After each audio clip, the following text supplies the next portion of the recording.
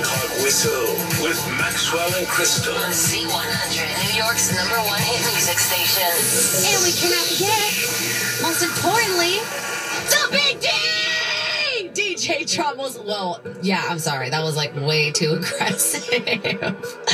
I know I'm good, Dramos. I am good. I'm still hanging in there with this headache, but I think these hard boiled eggs. Yes, yes, I did bring, I brought another one for you.